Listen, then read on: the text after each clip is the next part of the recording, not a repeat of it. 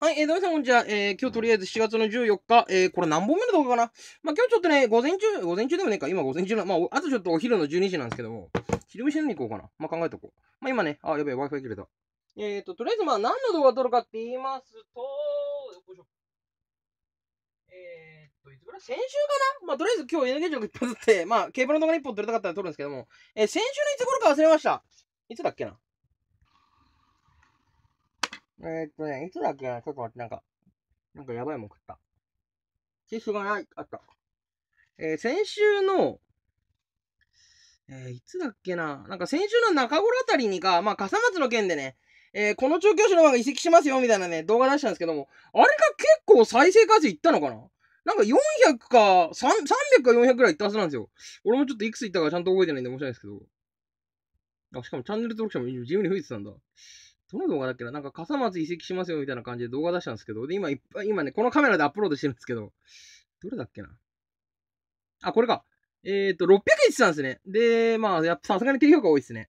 まあ、このね、えー、笠松で、えー、まあ、馬券購入した笠松競馬でね、まあ、馬が移籍しますよって動画出したんですけども、えー、今回はね、調教師ではなく、騎手の方をやっていきたいかなと思います。まあ、騎手って言ってもね、何をするかって言いますと、えー、こっちのね、と、東京市、まあ普通の南関東のよく俺が予想画像での、まあこっちのね、えー、TCK の方から、まあ出走表とかね、アクセスできるんですけども、えー、今回はね、えー、こちらの方で笠松の競馬、えー、全部見ながら、えー、どの機種が走って、どの機種が走ってないか、えー、ちょっとやっていこうかなと思います。というわけで一応スマホの方でね、今笠松競馬のホームページ出してるんですけども、えー、こんな感じですね。一応こちらね、今ね、笠松競馬のホームページ、えー、出してるんですけども、えー、一応ね、こちらの方でね、笠松競馬の、えー、機種全一覧っていうのが見れますんで、えー、なんか、なんか笠松場面募集もしてたんだ。へえ。まあいいや。えー、とりあえずね、まあ行きたいかなと思います。ってわけで、えー、まずはデータっすね。データで、えー、所属機種一覧。えー、これ一応ね、こっちの方ではね、iWeb 順に並んでますんで、とりあえず直径のね、風松から、えー、まあ、IU 順でできれば出したらいいんですけどね、出ない可能性もございますんでね、ちょっとその辺はね、えー、まあ、純不動に行ったりしたらご了承ください。えー、かなえー、笠松って杉木か？もしかすると。あった。えー、ちょ、とりあえずね、まず6月最後ですね。今、笠松競馬なんか、馬場工事かなんかしてて、競馬行えてないんで、まあ、6月のね、えー、前回戦で最後の笠松あたりからアクセスしていきたいかなと思います。というわけで、まずね、えー、あゆ順に行きたいと思います。えー、まず池田俊樹。えー、池田俊樹っていうのが名前わかんないけど、うわなんか笠松ケバのこれ動かないんだけど。あ、クソだな使えねえ。まあいいや、とりあえず池田俊樹で行きましょうかね。池田俊樹、あ、こいつだ。えー、こいつですね。えー、こいつは6月以降、えー、名古屋乗ってますんで大丈夫ですね。えー、続いて、大塚って機種。大塚、大塚。あ、こいつか。えー、大塚、えー、健二か。こちらも、えー、名古屋乗ってるんで大丈夫ですね。えー、続きまして、大原浩二。大原、あ、こ大原、いねえか。えー、大原浩二。あ、こいつですね。えー、こいつも、えー、こいつは、まあ、名古屋一回乗ってる。名古屋一回か。おー、ちょっと微妙だな。ちょっと待ってよ。まあ、笠松の機種、そもそもあっちの機上データが、まあ、プラスでないのかもしれないけど、ちょっととりあえず池田都市で、えっ、ー、と、今回祭の名古屋。あ、そしてまだ名古屋は一応、今現在出走表まだ出てないみたいですね。まあでも、まあそうですね。まあ、あんまり名古屋の騎士でも、まあ3から1から1からずつなんで、まあ一応乗れてるんで、えー、大原はセーフにしましょうかね。えー、続きまして、佐藤智則は、えー、100%アウトですね。佐藤智則、あれ以降ね、6月19日、騎乗ございません。えー、俺が知ってる限りでは騎乗ございません。はい、そうですね。えー、佐藤智則、6月19日以降、えー、騎乗なく、南関東の期間限定も白紙と。えー、そして島崎和也。えー、島崎、こいつかな？えー、こいつですね。あ、和成って言うんだ。一応ね、こっちのね、スマホ、ガラガラケーのこれ、あ、スマホなんかですけどね、これなんか記者のデータ出てこないんですよ。クソみたいなあの、サイトだな。えー、島崎和成が、えー、こちらも、お、こいつも出てねえのか。ちょっと名前メモってこう。えーと、赤ペン赤ペン。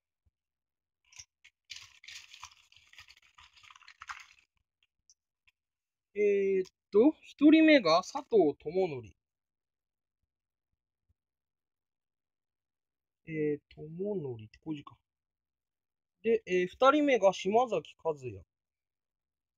多分ね、こういう系の動画ね、まだ誰一人出してないのかな俺が気づいてないかもしれないけど。まあ、とりあえず二人目、えー、アウトなのが島崎和成と。まあ別にねえー今回馬券購入ね、えーした機種だろうとは俺言ってません。一言もね、6月19日以降ね、機上ない機種っていうのをね、えー調べてるだけなんで、えーその辺に関してね、興味がある方はご自身でお調べください。えーそして続きまして、えー高木県でいいのかな？えー高木県。えー高木、高木。そんなに機上がない機種なのかな？あんまり機上なさそうですね。ないっすね。高木。ダメだ。全然機上ねえじゃん。あ、いた高木県。え、こいつか。えー、あ、もう結構な年みたいですね。今年で一応56歳か。えー、こっちも笠松以降乗ってなく、まあそもそもこの人の場合、笠松自体も、そうですね、そんなに乗ってないのかな。一応名前は記載しとくか。まあさすがに一応6月以降、まあ7月、名古屋入ってから、ああ、でもこの人自体もともと名古屋の機場ねえのか。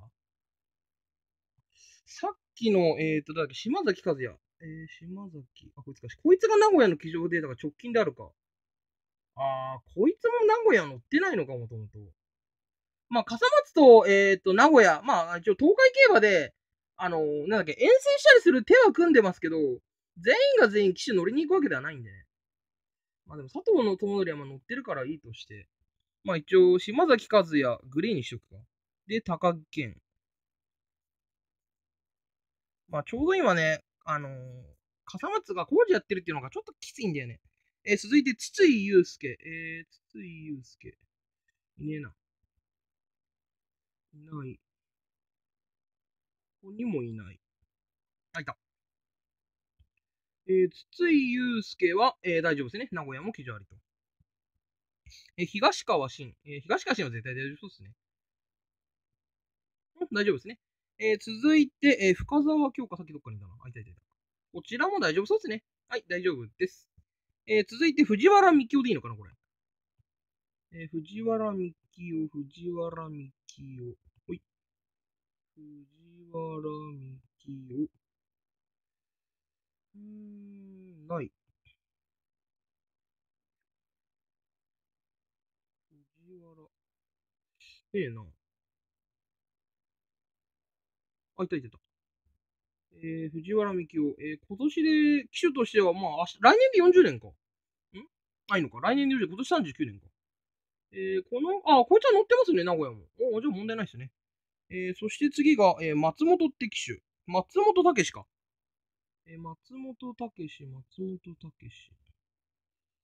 えー、松本武史は、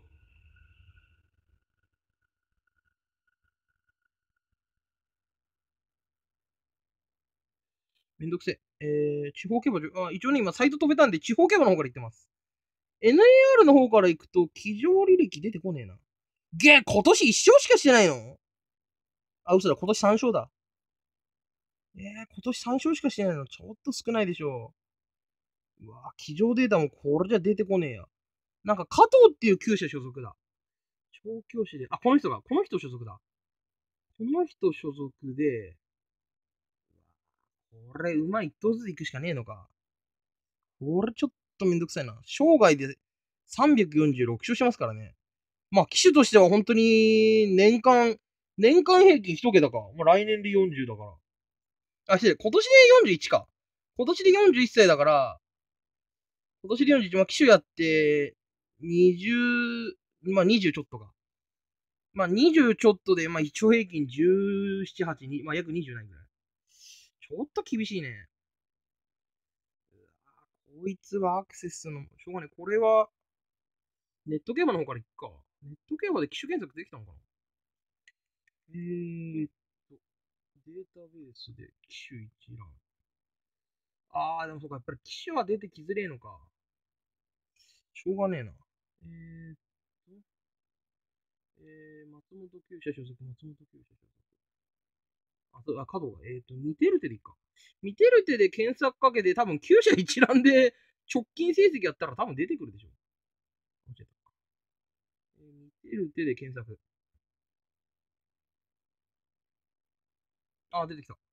えー加藤、こいつ。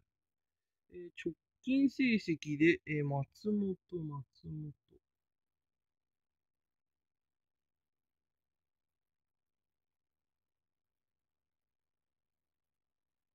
自給者載せてないか、これ。自給者載せてなかったら話が変わるんだよな。それは本当に話が変わるんだよな。今年一勝してるみたいですからね。一番人気、あ、今年三勝だ。一番人気で一勝、四番人気、五番人気で一勝ずつなんですけど。いやー、これはちょっとめんどくせえな。この動画先に出すか。一応今日まだプール動画が4本ぐらい、3本ぐらいあるのかな。ちょっとこの動画先に出すとして。いやー、これダメだな。ネット競馬の方、あの、ネット競馬じゃない、NAR の方から行くと、プロフィーラー出てくるんですけど、直近の騎乗履歴っていうのがね、出てこないんですよね。ちょっとめんどくせえな。うーん、ちょっと待って。出てこねえな。うわー、ちょっと厄介だな。うーん、どうしようかな。これダメだ。こいつ、どうしようかな。残り一、残り一レースいっか。さすがに一日何も騎乗ない。あー、ってケースがあった。うわー、ちょっとこれ厄介だな笠松の騎士が一日丸々騎乗ないってこともあるんだ。ってことは、よっぽどのカスなんですかね。はっきり言っちゃうけど。ちょ、ちょっと木曜日のデータも出してみるか。笠松。一応、木金で笠松入ってましたんで、最終開催が。えーっと、あれ、俺、お前何人か機種飛ばしてね？あ、別飛ばしてねえか。え、高木、えー、深沢、藤原、えー、飛ばしてないですね。松本にいるか。松本、乗ってねえな。しかもすげえこれ。4頭出し、うわなんじゃこりゃ。10頭出しで、1、2、3、4、5、6、7頭。わー、しかも、すげえな。いくら？あ ?3 連服でも上位3頭で、まあ、1000円か、上位5頭人気で1000円買ってもあれなんだ。3番人気が、ああ、一応、まあ2番人気というか問題ないのか。まあ1馬審査だからなんか面白そうですね。まあそれはいいとして、松本、松本。ええな。逆に今年どこで3勝してんだ？いやー、これちょっと厄介だな、この機種。最悪なぐらいデータ出てこねえや。データ出てこない以上、これ。うわぁ、ろくでもねえ機種いいんだ、笠松って。まあ、そもそもば、まあ、関係者が馬券購入で警察案件になってる時点で、ろくでもない競馬場だろうけど。えー、機種データベースで松本で出してみるか。これ、騎乗データがね、ちゃっちゃと出てきてくれて、ちゃっちゃと出てきてくれないから困るんですよね。え？あれ？ちょっと待って。えっ、と、データ検索。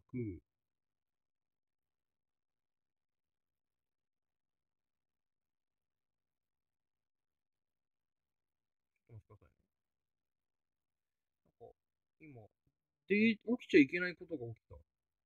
出てこねえよ。は？これまさか機種データベースってさ、フルネームじゃないと入んないとかそんな感じ？あ、そういう感じだわ。えー、めんどくせえ。じゃ、笠松でいいや。笠松で全機種一覧。めんどくさいなあ、できた。えっ、ー、と、今、とりあえず笠松に所属してるのは全部で17人。で、松本、乗データがやっぱり出てこねえか。今年ちなみに全部で騎乗回数はそもそも少ねえ。56しか乗ってねえ。うわぁ、半年で56だろ ?1 ヶ月ベース10本か。うわぁ、これ逆にいつ乗った？あちゃーだな。これは本当にあちゃーだな。もう出てくるのが奇跡としか言いようがねえや。多分これ松本は出てこないですね、データ上。一番人気で勝ってるってことは、まあ、それなりの馬なんだろうけど。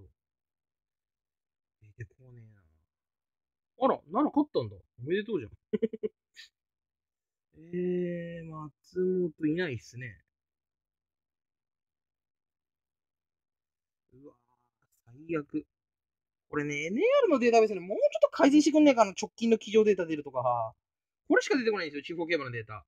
NAR の方。プロフィールが出てきて、今年のあの障害成績と、今年と去年の成績が出てこないんで、この機種がどの馬に乗ったかっていうデータが出てこないんですよね。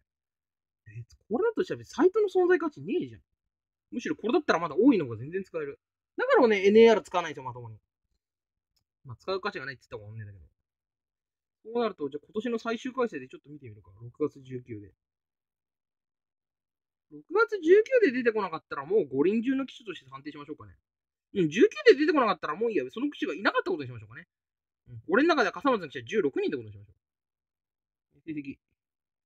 えー、松本いない。松本いない。期間限定とかじゃねえだろうな、さすがに。あ、でもそっか、今笠松になったら問題ないか。一応今、名古屋のあいつでやってるのか。岡部誠が名古屋に出てくるか、多いとしてくるか。岡部誠。あー、岡部誠一応多い扱いになってるわ。ってことはやっぱり期間限定いってる可能性もねえな。あー、そうなると本当にろくでもないゲノゲノゲノ機種か。うーん、そうですね。多分その可能性がありますね。えー、一応、大井の方アクセスしたら岡部誠 入ってますんで、やっぱり期間限定は入ってないですね、こいつ。ないな。ないっすね、ほんと。うーん、ないね。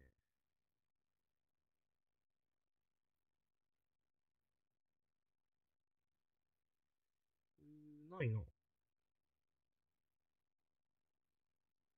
いや、しょうがないんで、直近の3回祭では、えー、松本って記者、あ、でもそっか、1個だけ、あ、でもそっか、全部移籍しちゃってんだ。そうだよな、この厩舎、うまいねえもんな、今。あー、小島厩舎が離席したのどこだっけな後藤って厩舎が2頭だろ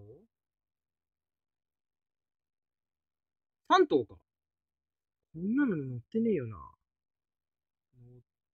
てねえなうわー、これはしょうがない。笠松の機種、えー、全部で、しょうがないね。出てこない以上しょうがないわ。直近で乗ってないバカが悪い。え、というわけで、笠松の記者全部で16人ってことで扱いましょうかね。一応最後の賭けとして、ここにいますけど、ないっすね。はい、ってことは、笠松の記者16人でいきます。えー、続きまして、えー、森島隆之、それどっかにいたな。森島、森島、確かどっかで見たぞ。こいつもそう、あ、いたいたいた、森島隆之。えー、森島隆之は、えー、一応セーフですね。えー、続きまして、山下正幸。山下、山下。もうね、いっぱいページ目飛んだんでね、多分戻っていけばそのうち何人かいそうなんだよ。あ、いましたね、山下正幸。えー、こちらも、えー、こちらはアウトか。で、こいつ自体は、えー、直近ベースで、名古屋の騎乗はないっすね。まあ一応、山下は字が来たね。えー、っと、山下正幸。で、次が、えー、吉井智彦。あ、これさっきどっかにいたな。吉井智彦、吉井智彦。確かこの辺にいたぞ。あれどこだっけ？あ、いたいたいた。えー、吉井智彦。えー、こちらは、えー、名古屋に乗ってるんで大丈夫ですね。ちなみにこの機種自体は名古屋は、えー、このページだと初なんだ。えー、続きまして、渡辺達也はセーフですね。渡辺達也絶対セーフでしょ。俺、あれ、あれが基準なかったら切れるよ。あ、いたいたいた。多分あるはずなんだよな。あ、大丈夫ですね。えー、続いて、えー、以上っすね。あらあー、そうだ。水野かける騎だ。水野かける騎も帰ってるよね、確か。あ、ちょうどいいや。佐藤智則か。佐藤智則で、えー、佐藤智則、戻っちゃった。佐藤智則の奈良からかければ多分早いんだよな。佐藤智則。で、奈良、あれどこだっけ？奈良、奈良、奈良。あ、いたいたいた。奈良が確かに遠征してる時にブッキングで入ってるはずなんだよな。えっ、ー、と、白さ、あ、いたいたいた。水野かける。今現在は笠松と。あ、大丈夫ですね。名古屋も乗ってますんで大丈夫ですね。というわけで、名古屋の所属機種全16人で、えー、1人抹消しますんで、16人で4人ですね。名古屋開催乗ってないのは。ちなみに、ちょっとこっちの方から行ってみるか。ついでに、どこまで乗ってないか。えー、佐藤とも、えっ、ー、と、山下か。山下が、えー、これか。こいつが名古屋乗ったことあるか。えー、山下正幸。あ、でも本当に、名古屋とね、俺、あの、笠松のね、開催知らないですよね、どういう組み合わせなのか。隔週なのかな？どうなんだろう？多分なんかこういう日付的に見るとなんか隔週な気がしますけど。あ、でも隔週でもないかねか。うん、とりあえずでもまあ、山下の席じゃそんなに笠松しか、まあ、名古屋乗らない機種か。一応今年入ってから今現在、まあ、4月以降乗ってないですよ、全く。3ヶ月も名古屋乗ってなければそ、そらしょうがない機種かもしれないけど。そうですね、4月以降一度も乗ってないですね。うん、まあ、じゃあ山下正幸は、まあ白か。一応白判定しときましょうかね。まあ、あくまでもね、名古屋の騎乗してるかしてないかだけは白判定ですね。で、続いて高木健が、えー、どこにいねえかな。えー、高木健。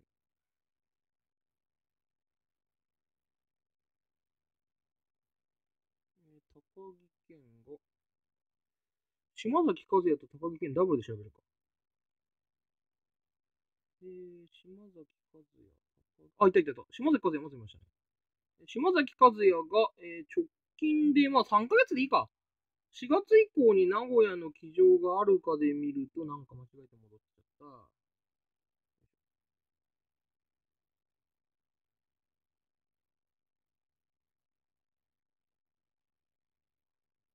ああ、こいつもそんなに名古屋乗らない機種っすね。一応直近何ヶ月で出してると、まあ乗ってないっぽいんで、ああ、そうですね、乗ってないっすね。こちらも。そうですね。一応じゃあ、島崎和也も名古屋騎乗は白か。で、佐藤智則はアウトで、残りが高木健か。この辺から続いかな。高木健、高木健。さすがに人回線にどっか乗ってんでしょ ?3 文字だから分かりやすいんだよな。えー、いない。1個飛ばしちゃった。えー、向山巻あれ？向山巻って引退したの？あ、こいつは名古屋乗ってるか。あれ？向こう、向こう山ってそもそも名古屋の騎手か？どうなんだろう一応ね、名古屋競馬の騎手一覧で出したら、向こう山巻、あ、向こう山巻いたわ。あ、失礼。何人か騎手サボササボってたわ。あれ？これ、プロフィールある騎手とプロフィールない騎手っていいの？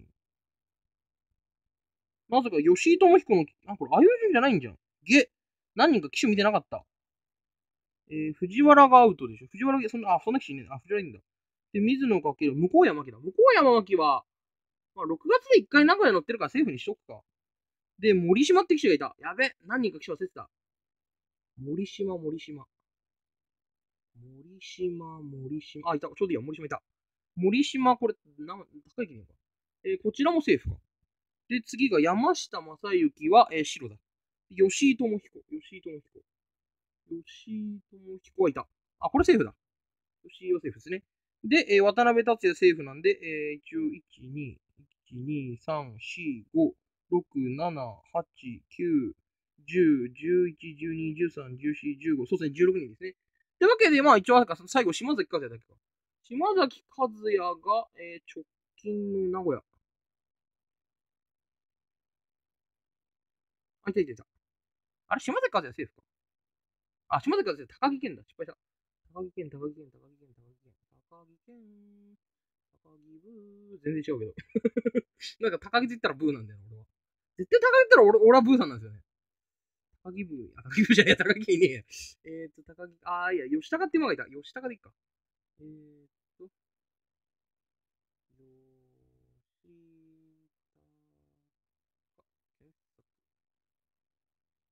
あ、いたいたいた。吉高、これか。2017年前。吉高で、えー、高木県これか。ああ、名古屋に遠征してるけど、降ろされてますね。渡辺達也に。えー、高木県自体は、まあ確かに笠松しか騎乗がないと。まあでも、連投でもそこまでして降ろす騎手かね。一応、この騎手でもそもそもあんまり笠松でも騎乗ないっすね。1日1蔵、で3蔵。ああ、もう1蔵の時も多いんだ。なんかかわいそうだね。じゃあ、そりゃ名古屋は騎乗ねえわな。うんこの人も白っすね。さあ、一体誰なんでしょうかね。まあ、とりあえずは佐藤智則だけが、そうですね、名古屋も乗ってない機種か。うーん、気になりますね。ちなみに思った。調教師一覧で出してみるか。一応俺ね、小島徹だけはね、調べたんですよ。その馬が移籍してるしないわ。他にも馬がいない調教師っていいのかな一応ね、笠、あ笠松はね、まあ、16人中、まあ、4人がグレーゾーンで、まあ、えー、3、まあ、まあ、まあ、1人が黒と。まあ、名古屋の騎乗は黒というとことにしますけど、えー、調教師一覧。えー、調教師一覧。えー、調教師はちょっと多いんだな。1、2、3、4、5、6、7、8、9、10、11、12、13、14、15、16、17、18、19、20、21。21人か。ちょっと騎手より多いんだね。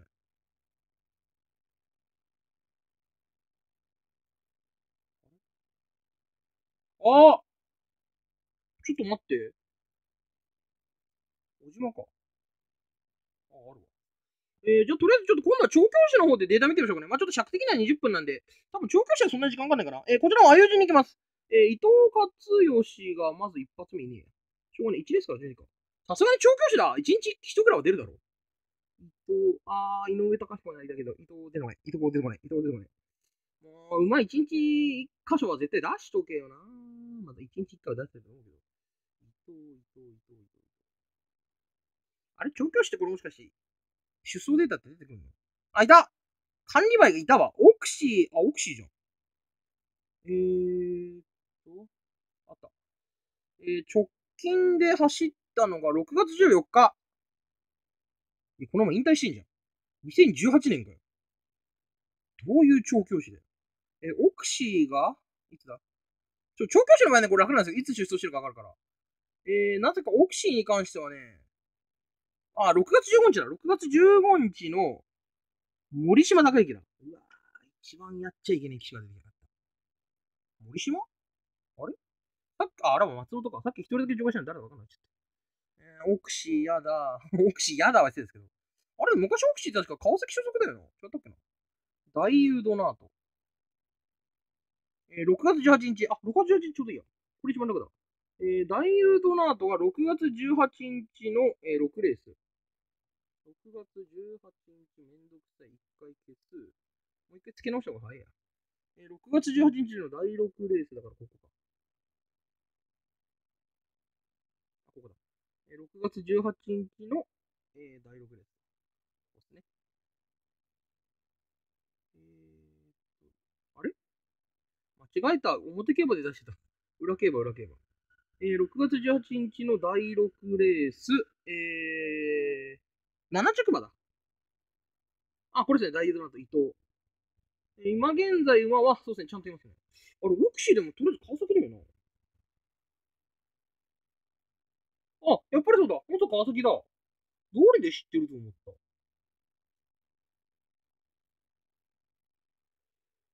そうですね。まあでも、オクシー多分川崎だと C2、C3 ですね、これ。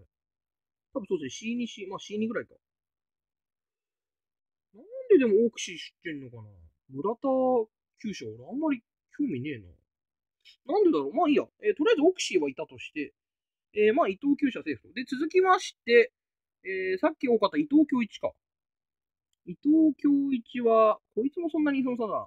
伊藤京一、えーこちらが、えー、一番直近。一番直近。えー、6月17か。この前日ですね。この前日の、えー、第5レースの6着馬。んど ?6 着馬か。第5レースの6着馬。えー、6月17日の、えー、第5レースの6着馬。第5レース、間違えた。6着馬。あ、これか。えー、東京一、えーこちらに関しても、お結構うまいますね。えーじゃあ、この人はセーフと。で、続きまして、えー、伊藤京一、井上隆彦。井上隆彦、その辺にいたわ。その辺に、運悪くいなかった。なんでこういう時いねえんだよ。あ、いたいたいた。井上隆彦は、えーセーフと。えー続いて、大橋義長。こちらは、そう簡単に出てくる機種ではない。長距離なんだそうだな。えー大橋義長は、えー馬が全部で7頭か。結構少ないね。えーっと、あ、この人大丈夫ですね。7月8日にも名古屋競馬で馬が遠征しますんで、大丈夫としておきます。ちなみに6月19日に走ってるわ。アイバンって子が。そのね、アイバンを見たらね、名古屋で走ってんだよ。6月19日の第3競争。6月19日の第3競争。これか。んこれ、まず船橋じゃねもう一回。新馬が取り消しになったら直近で船橋がね、間違えた。こっちだ。えーと、6月19日の第3レースでアイバンと。うん、大丈夫ですね。ちゃんと7月走ってるんで問題ないです。えー続いてが、えー小島徹は馬が全滅と。えー小島徹の馬調べたいときはね、後藤厩舎、後藤厩舎。うん、あー、東館のとこに馬行ってるはずだ。なん誰行ったっけな確かに3、4と行ってるんですよ。あ、これだ。ディアシオ道場だ。これ確か移籍馬のはず。そうですね。えー小島徹から移籍してて、えー小島徹は、えー所属馬なしと。で、続いて加藤幸康。これさっき馬いたよな。どっかにいたっけ？あ、加藤幸康。あー、間違えた。加藤幸康は、えー、馬所属で大丈夫と。で、川島博義。川島博義。あ、いたいたいた。うん、大丈夫ですね。メモリーって言ったら俺ジルバなんだよ。えー、続いてが栗本、えー、陽一。栗本陽一。これそう簡単に出てくる人じゃなそうだな。調教師になってからまだ若いんですね。今年で5年目。えー、でも管理部は意外と18と言いますね。えー、今、あいう順に行くと、アクアカイ、あー、ダメだ、これ2歳馬だ。走ってるわけよね。えー、ウィンリコルド。えー、この子が、えー、大丈夫ですね。この子も一応6月17日の第7レース走ってますけど、えー、その後の7月10日の名古屋走ってますんで大丈夫ですね。一応、一応6月17日。えー、これが第7競争か。えー、第7。えー、第7競争。これか。の、えー、7着馬。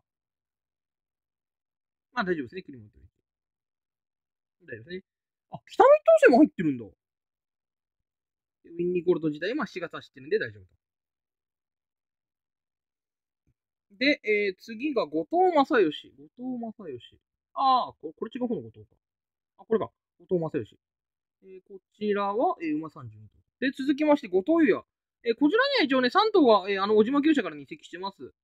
えー、ここですね、ドリームアイ、ドリームオリア、ドリームレイ。まあ、この子たち、ドリームオリアに関しては、2歳馬で、えっ、ー、と、厩舎実績がね、えー、ちょっと見えない状況なんですけども、まあ、馬主さんの名前がね、えー、同じ馬主さんから一応2頭が移籍しますんで、あと、移籍馬情報にもね、載ってましたんで、多分大丈夫かなと思います。で、続いてが笹野博士。えー、笹野博士。いない。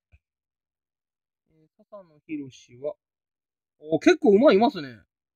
48頭。あら、ロバストミルもいる。えー、それ直近でいきます。まあ、一番下のまで行っちゃったんですけど。あ、この馬ダメだ。走ってねえ。えー、この、なんか雷乗ってね。えー、6月11日の第9レース、ちょうどいいや、この日だ。この日の第9レースの、えー、4着馬、一番人気で。これか。えー、あー、なるほど。まあ、この人自体は、まあ、馬いるから一応いいとしときましょうかね。馬はいますんでセーフですね。えー、っと、えー、続いて柴田隆。この人、すげえな。御年72歳。元気。しかもこの人何がすごいって、冠名が5頭いるわ。12頭中所属馬が5頭。しかも2歳馬もいる。すげえな。えー、一応、アイウェイ順でいきますと、グレイト・デビューティテコが4月15やだ。やだは失礼だけど、やだ。えー、サイレンス・ミラー。この子が、えー、直近6月 15? あー、6月 15? あ佐藤智則がいた。佐藤智則がいたからいいや。佐藤智則、えー、6月15の、えー、6月15大重ですか ?6 月15の大重です。あ、この人か。柴田隆。そうですね。丸四ってものです。これ多分全員同じ丸さんかな？野村。で、2歳馬も、あ、野村か。あ、同じ丸さんか。アジアエクスプレスさん。えー、続いてが、えー、田口照彦。田口照彦。いないっすね。田口照彦が、えー、大ミルシアか。俺が知ってんのは唯一。えー、大ミルシア、えー、そうっすね。なぜかこいつ、金沢から移籍しますね。なぜだ？お前、なんで移籍した？あれ？もしかしてこれ、オリーブと走って、あ、シニアラと走ってね。あ、そうだ。やっぱりそうだ。えっ、ー、と、今年の3月16日のシニョーラが2着入った時の、えー、5着馬っすね。シニョーラ、シニョーラ。シニョーラなら簡単だ。えっ、ー、と、一応、えっ、と、これ消して、出走表に戻って、これ簡単ですね。え出走表に戻って、今日の裏競馬の金沢行って、えっ、ー、と、第8レース。第8、あ、間違えた。あ、でも合ってるからいいや。えっ、ー、と、シニョーラ。えっ、ー、と、3月16日のシニョーラ2着。これか。シニョーラ2着の時のオーミルシア。あ、いたいたいたいた。あれ？あ、いたいた。オーミルシア。お確かに移籍しますね。じゃあ、この中継者はセーフと。えー、続いてが花本正蔵。えー、この人結構うまいますね。えー、全部で25頭。俺が知ってるま、あチャイヤプーンじゃんあら、岩手から行った。あれチャイヤプーンって岩手じゃなかったっけ？ちょっと待って。あれ？チャイヤプーンがいる。すげえ。え、マジで？ああ、チャイヤプーン。今年の1月から、笠松所属になってたんだ。いつの間に船橋から移籍してたの？知らなかった。えー、チャイアプーンのアクセスか。じゃあこっちも簡単だ。えーっと、一回出走表消して、レース情報に出して、えーっと、直近の川崎でいいや。えー、あー、明日でいい？明日の川崎の、あ、待って、今日でいいや。今日の川崎の JRA 交流。えー、JRA 交流。で、えー、あ、森田といた。あれ、俺なんで森田と言ったんだろう。あ、いいんだ。森田、森田と出るわけねえや。しまった。ょっと待って、重賞でチャイアップに勝ってたか？ああ、いた、ちょい。ちょっと、戸塚記念勝ってた。あれ？でも戸塚記念。あ、戸塚記念勝ってんだ、5番人気で。えー、チャイアップ以外、えー、今のところ笠松所属と。えー、そしたら次が、えー、東川正則。まあ、これは大丈夫そうですね。えー、あれは息子から言った方が早いや。えー、一旦消して、えー、これ金沢消して、機種詳細で、えー、適当に笠松を押して、えー、東川して東川あ、ちょうどお父さんいた。えー、お父さんは大丈夫と。ちなみにこの辺もね、まあ、何頭か移籍しております。えー、続いて藤田正治。えー、こちらが、戻っちゃった。じゃあ、東海クラウンでいいや。重症しとけば誰かしらいるでしょ。いなかった。えー、藤田正治が、えー、し、俺が知ってる名前の馬は、そうっすね。いないっすね。まあでも所属馬は全部で42と、まあまあ多い方っすね。ちなみに2歳馬は、えー、1頭もいない感じかなそして2歳馬は1頭もいないですね。一番上の子でアイファーリリー。この子は？アイファーリリーが6月15の笠松で、えー山下正幸と。ちょうどいいや。6月15の、えー第2競争。え6月15の第2で9着。6月15の第2で9着。あ、この子か。アイファーリリー。えー藤田。えー藤田正治と。えー馬いるんで大丈夫と。で、えー次が毛利勝弘。えーこちらが、馬いるの？あ、いるわ。全部で16頭。ただ俺が知ってる子はやっぱりいねえや。えー、オーケンキングって子がトップにいますね。えー、オーケンキング6月4日の渡辺達也。それ以降はね、めんどくせえからいいや。次。えー、カタ、カタールパール。合ってるか。カタールパールが、えー、4月28日。もっとやだ。えー、次が、えー、ことぶきの2。いいのかなえーこの子の出走履歴が、えー6月5日の向山真紀で取り消しか。ちょっと走ってるもいねえのかな？すっげえ失礼だけど。えースキニチーノ。これさ、スキニチーノが、6月15、えー大原って機種。6月15の大原。これでいくしかねえか。6月、あ、そうか、6月15でいけんだ。6月15日の、えー、第8競、あ、違うわ。えー、第5競争だ。6月15の第5。そうだ、こういう出し方があったんだ。えー、の、えー、3着馬。これか。すごい笠松競馬俺に遊ばれてるけど、大丈夫ですね。で、次が、えー、水野義人。これが、えー、6月19日に、えー、6着馬が大塚って騎手。6月19日に大塚って騎手。こいつか。で、ちなみに調教師の名前が、えー、水野。なんか俺と相性が悪そうな調教師の名前だな。すっげえどっしりなんだけど。生き様、生。あ、この子か。えー、この子は、えー、大丈夫と。で、次が、えー、森山秀夫。えー、森山秀夫。何かこのね、騎乗依頼からね、見た方が早いですよね。いないか。森山、いないですね。えー、森山秀夫は、あー、でも、あ、すげえ山人がいっぱいいんじゃん。山人で6頭いるわ。すげえ山人で半分じゃん。あ、しかも、あ、生まれてあの人だ。あのー、山人の奥さんなのかなわかんないけど。あの、土井久美子。いいのかな名前。あー、ちゃんとした山人じゃん。すげえ。なんか失礼か、ちゃんとしてない山人でいいのかなえー、とりあえずで、まあ、山人で行きますと、山人、あ、あ、山人でいいな、じゃん。いつ笠松に来たの？あ、2016年ずっと笠松にいたんだ。どうりで知らねえと思った。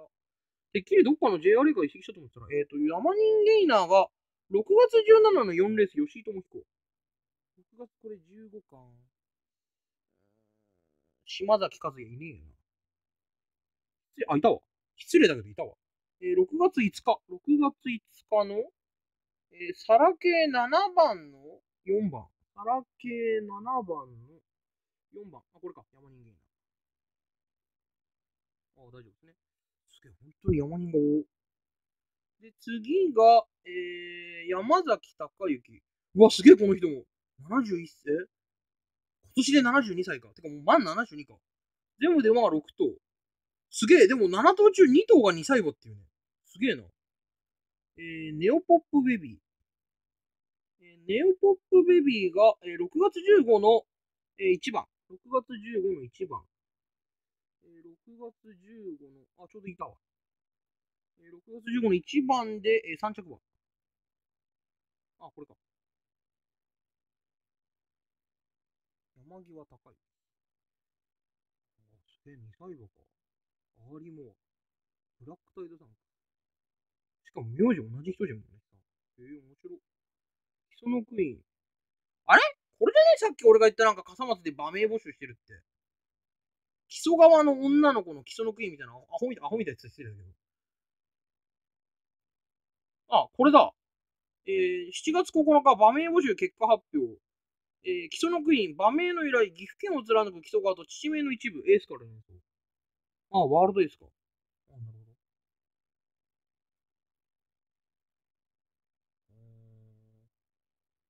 この一頭なんだ。笠松で馬名を覚えてたの。へえ。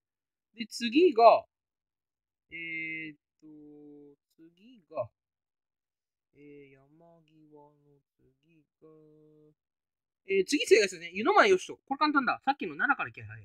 あの人絶対うまいいるわ。あの人うまいなかったら俺は、あ、いたいたいた。これ馬多いんですよね、めちゃくちゃ。あ、29度しかないんだ。意外だったな。奈良とかさ、あ、私来てもいいんじゃん。いつ移籍してたんだ知らなかったそら道理で3月の裏見てねえよな。えーと、あとそれぐらいかな。まあそうっすね。この厩舎俺知ってんのは奈良と私来たよと。ぐらいか。まあたまに南関東来る調教師ですけどね。あれ、バウン社故障した時に、あと誰来てたっけ？えー、と、湯の前、バウン社故障出てこねえか。ってことは別の馬だな。なんか、なん、前、まあ、前、結構来るんですよね。あ、そっか、坂上忠正ラクセス監督があの人、意外とそんなに気丈ねえから。失礼だけど、思ったより気丈あった。うわー、ダメだ、出てこねえ。あれ、いつだっけバウン社故障したの てか、最近、笠松乗ってなかったんだ。失敗した。えー、いつだっけな。船橋競馬なんだよな、確か。去年か。確か去年のなんだっけな、10月だっけなんかの JBC だったんだよな。中和ビザードか。確か買ったの。あれ違ったっけ？えー、中和ビザードだねだ。帝王賞直行だ。あれじゃダイオライトか。あ、違うわ。あ、でも、加賀のカリスマがいる。ちょうどいいや。こいつ見てみよう。川のカリスマ。あ、こいつ去年のダイオライト記念が引退してるわ。じゃコスモマイギフト。こいつもちょこちょこ来てるんですよね。えー、おめも引退してんの？あ、日本日本テレビ杯か、去年の。で、コスモマギフト一世一代北の一等星。全員引退してんじゃねえもしかして。あー、こいつは岩手に行ってんだ。あ、しかも走すっげえ、一番人気でガスケツガスケツか。うわダッサ。で、北の一等星も引退か。それはどれで出てこないはずだわ。あ、こっちは笠松に行ってる。うん、あれ？あ、笠松からしてたんだ。なんか失礼なんだけど、笠松から遠征してくるとき、湯の前教師しか知らねえんだよな、俺。まあ、それそうですね。笠松競馬の調教師はセーフっすね。まあ、ってわけで一応、まあ、笠松で馬いない調教師は小島徹一人。で、名古屋で走ってない騎手は、えー、佐藤智則一人。そして島崎和也、高木健、山下正幸、一人騎手引退扱いとなっております。まあ、このね、松本って機種のデータがちょっと出てこないので、ちげえわ、その手があった。そうか、あの手でいけばいいんだ。出てきました。こいつっすね。今年1番人気、4番人気、5番人気で一勝したやつ。松本武史。Google で笠松松本って言ったらこの難関ページのやつが出てきました。えー、こいつ怪我してんの？そりゃ2月以降に騎乗なけりゃしょうがねえわな。あらら、かわいそう。ちょっと待って、笠松警部のホームページちょっと見てみよう。しかもこれバトル席とか載ってたんだ。へえ。なんか意外。なんか失礼なこと言うけど意外。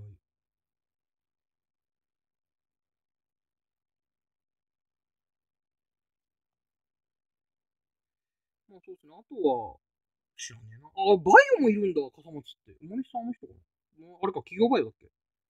ああ、バイオ株式会社、笠松にもお前いるんだ。へえ。えーと、ちょっと待ってください。笠松、松本、落馬で検索してみよう。落馬。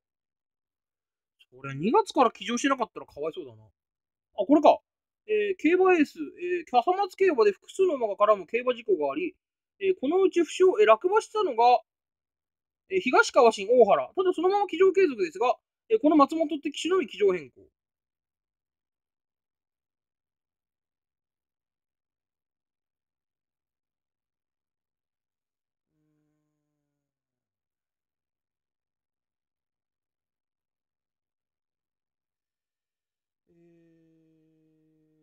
一応そうですね。まあ、とりあえず、機上変更なんだですね、翌日も。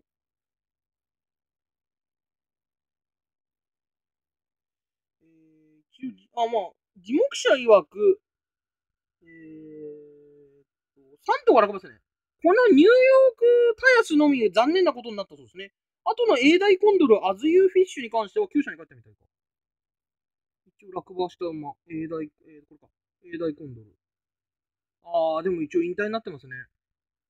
ああ、まあ、落馬事故の後、ドベか。まあ、それは心配になるわな。で、アズユーフィッシュに関しても、あ、こっちはまだいるんだ。まあ、そうそう、一応でも、笠松のこの松本に関しては、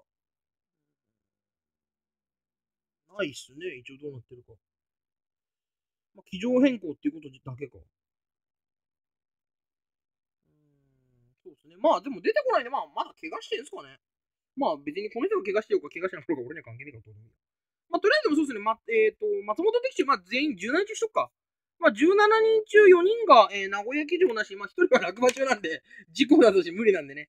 まあとりあえず、えー、騎手の方は17人中4人がね、名古屋騎乗だけはないという感じの、えー、動画にしておきたいかなと思います。まああと気になる方はね、個人的に調べるなり、えー、やってください。インターネットでね、調べれば今の世の中ね、いろいろ出てきますんでね。こういうふうにね、笠松松本出たんで出てきたんですよね。でもすごいねさ、笠松駅から松本駅まで行くやついんのかねわからん。まあ、それはいるだろうな。まあ、とりあえずね、そんなこんなでございますんでね、えー、これで終わりにしたいと思います。一応ね、概要欄の方にね、えー、詳しい概要、えー、出しときますんでね、興味がある方見てみてください。ではまた次回の動画でお会いしましょう。ありがとうございました。